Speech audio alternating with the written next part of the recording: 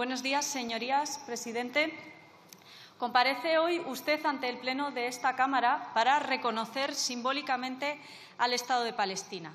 A nosotras nos gustaría saber con qué fronteras piensa reconocer ese Estado y, sobre todo, cómo piensa garantizar España que Israel respeta esas fronteras. Porque en este momento, como ya han dicho otros grupos parlamentarios, el Estado de Israel ocupa de manera ilegal, a través de colonos enormemente violentos, la mayor parte de las, tierras que los palestinos y las palestinas tenían asignadas hace décadas. Reconocer el Estado de Palestina creo que compartirá conmigo que hubiera estado mejor hacerlo hace diez años, cuando usted lo prometió por primera vez, o incluso cuando les obligamos a meterlo en el acuerdo de gobierno en el año 2018 y que compartirá conmigo que ahora mismo esa medida no es la más útil para lo más urgente, que es pararle los pies a Netanyahu y que termine de una vez por todas este genocidio. Creo que si ustedes hubieran querido hacer algo concreto para frenar este genocidio, hubieran hecho como hizo la tarde del domingo el señor Álvarez, que en apenas 12 horas consiguió llamar a consultas a la embajadora española en Argentina y a consecuencia de esos insultos que el señor Milei vertió de manera repugnante sobre usted y sobre su mujer. A mí me parece que es legítimo preguntarse cómo es posible que unos insultos, por muy repugnantes que sean, y desde luego estos lo son, justifiquen una crisis diplomática de este calado con Argentina y, sin embargo, 35.000 muertos después, seamos incapaces de romper relaciones diplomáticas con el Estado criminal y genocida de Israel. Creo que hay mucha gente que en este momento se está preguntando eso en España. ¿Cómo es posible que, habiendo miles de niños y niñas palestinos asesinados encima de la mesa, escuelas bombardeadas, hospitales bombardeados, ustedes hayan sido incapaces de romper relaciones diplomáticas con Israel? Creo, además, que ustedes saben muy bien qué es lo que hay que hacer. El problema es que no se atreven. Y no se atreven porque Israel es un Estado aliado de Estados Unidos y ustedes, lamentablemente, siempre le rinden pleitesía a los Estados Unidos. Y también quiero decirle, presidente, que esta inacción es un problema, pero también es un problema que el señor Puente se dedique a criminalizar, a ridiculizar, a desprestigiar el movimiento internacional de solidaridad con Palestina, que es a lo que se dedicó toda la semana pasada. Yo tengo una pregunta que creo que también es importante. ¿Cómo es posible que en solo tres días el movimiento de solidaridad con Palestina identificara tres barcos sospechosos de llevar armas a Israel y en siete meses y medio de genocidio este Gobierno haya sido incapaz de identificar un solo barco. ¿Cómo es posible? Creo que no hay que ser una experta en rutas marítimas de transporte y, desde luego, yo no lo soy para saber lo evidente, que si hay problemas en el Mar Rojo y que esa ruta Israel ya no la puede usar, lo más probable es que España se haya convertido en una parada obligada dentro de la nueva ruta que transporta armas a Israel y también munición de manera permanente. Por eso le pido que hagan una investigación seria, que nos digan cuántos barcos que llevaban armas a Israel han pasado por España en estos siete meses y medio de genocidio y también que investiguen y que estén alerta para que eso no vuelva a ocurrir. Porque, a pesar de sus anuncios, señor Sánchez, Hoy España le sigue comprando armas a Israel. A pesar de los anuncios y de los titulares, hoy ustedes, con nuestro dinero, con dinero de todos los españoles y las españolas que no queremos ser cómplices de un genocidio, están usando ese dinero para comprar armas a Israel y que siga financiándose y siga financiando un genocidio. Creo que eso hace que muchas personas se vayan dando cuenta que antes teníamos un gobierno de cambios, un gobierno de transformaciones y ahora tenemos un gobierno que solo busca el titular. Mucha gente piensa que usted ha venido a, este Congreso hoy no por convicción, no por compromiso, no por principios, sino a buscar el titular. Y eso es un problema, no para usted y para este Gobierno, sino para la democracia española y para nuestro pueblo. A mí me gustaría saber si ustedes siguen manteniendo el planteamiento de que Israel es un Estado amigo, me gustaría saber qué piensa el señor Álvarez. ¿Sigue siendo Israel un país amigo de España? porque creo que después de miles y miles de personas inocentes asesinadas no podemos seguir manteniendo esa afirmación. Y mire, hace unas semanas usted tuvo en vilo durante cinco días a nuestro país, tras una carta en la que decía muchas cosas, pero que también decía lo siguiente. Llegados a este punto, la pregunta que legítimamente me hago es ¿merece la pena todo esto? Sinceramente no lo sé. Este ataque no tiene precedentes, es tan grave y tan burdo que necesito parar y reflexionar. Seguramente muchas de las que estamos aquí, muchas de las que nos están viendo, piensan que algún precedente sí que teníamos. Pero yo quiero centrarme en la otra parte de la frase, la que se pregunta si merece la pena.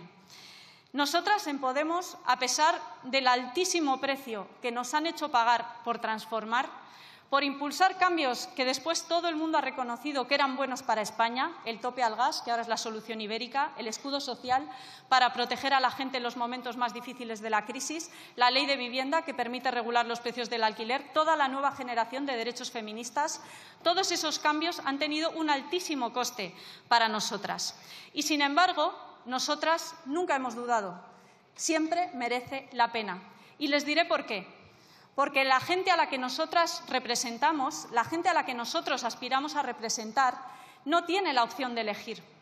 La gente de este país necesita defender su forma de vida, necesita defender la sanidad pública, la educación pública, la atención a la dependencia, la lucha contra las violencias machistas.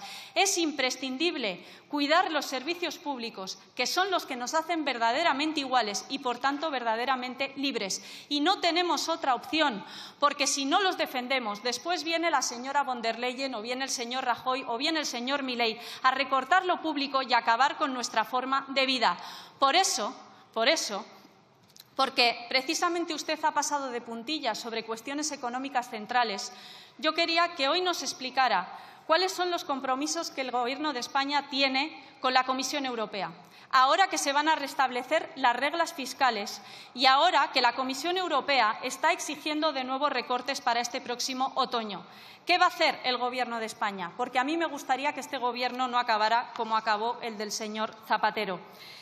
Y además, creo que no es serio abrir en canal un país, señalar, y tengo que decirle, presidente, que con total acierto los problemas estructurales que tiene nuestra democracia, motivos por el cual la nuestra todavía no se puede considerar una democracia plena, y, sin embargo, proponer el total de cero propuestas para resolverlos. Usted, presidente, no es un ciudadano más. Usted tiene poder. Usted puede hacer cosas. Por eso no se entiende que no haya decidido tomar las riendas y abordar estos problemas estructurales. Por eso, en Podemos, con muchísima humildad, con muchísima convicción también, hemos decidido registrar una batería de medidas para hacer lo que hay que hacer. Nosotras no nos vamos a resignar. Sabemos que hay tareas de transformación pendientes imprescindibles para nuestro país y con las fuerzas que tenemos vamos a trabajar para impulsarlas. En primer lugar, una iniciativa para renovar el Consejo General del Poder Judicial sin el PP, para que esta derecha anticonstitucional, que lleva en rebeldía contra la Constitución más de cinco años, tenga que cumplir con la ley de una vez por todas. En segundo lugar, una nueva ley contra la desinformación y para garantizar el derecho a la información veraz. Una ley que nos permita y que obligue a los medios de comunicación a reparar con los mismos minutos de televisión o de portadas de periódico que usaron para desprestigiar y para mentir sobre una persona o una organización para revertir esa mentira. Y también una ley que obligue a que haya transparencia en los intereses económicos y políticos detrás de las mentiras que vierten cada día Ana Rosa Quintana, Pablo Motos o Susana Griso, para que sepamos cuáles son los intereses. Sí, claro, como os defienden a vosotros, pues os ponéis así. Pero la realidad es que queremos saber cuáles son los intereses económicos que están detrás de esos periodistas que mienten cada día desde grandes platos de televisión sobre las fuerzas políticas, incluida la mía. Y también eso incluye al señor Antonio García Ferreras. Creo que compartirá conmigo que a muchas nos sorprendió que usted fuera a darle una entrevista a un periodista corrupto que, como hemos sabido a través de los audios, conspiró no solo contra nosotras, sino es que conspiró contra usted y contra su mujer. a mí me hubiera gustado mucho que usted le dijera algo, que le pidiera por lo menos que rectificara lo que hizo. Porque el problema, y no, lo digo solo por usted personalmente, sino también por nosotras y por la democracia española, porque si usted va a un plató de televisión y no le dice nada a un periodista que ha conspirado contra usted y contra su mujer con el comisario Villarejo, el problema es que mucha gente acaba pensando en España que hay gente que no se presenta a las elecciones que manda más que el presidente del Gobierno. Y eso no lo podemos permitir. No se lo puede permitir la democracia española. Hay que atar en corto también a los periodistas corruptos. Y por último,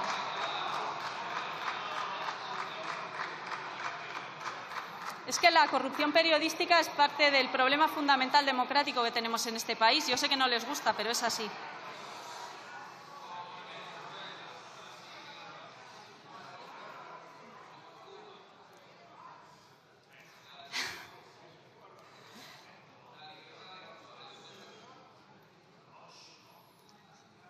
Gracias. Y, por supuesto, me parece imprescindible que abordemos de una vez por todas el enorme problema del precio de la vivienda que tenemos en nuestro país. Nosotras no pensamos que es una buena noticia que BlackRock invierta miles de millones en nuestro sector inmobiliario, porque si BlackRock gana, lo que está claro es que la gente de nuestro país va a pagar más dinero por su alquiler y por su hipoteca. Yo lo tengo claro, no se puede estar del lado de BlackRock y del lado de los inquilinos y las inquilinas al mismo tiempo.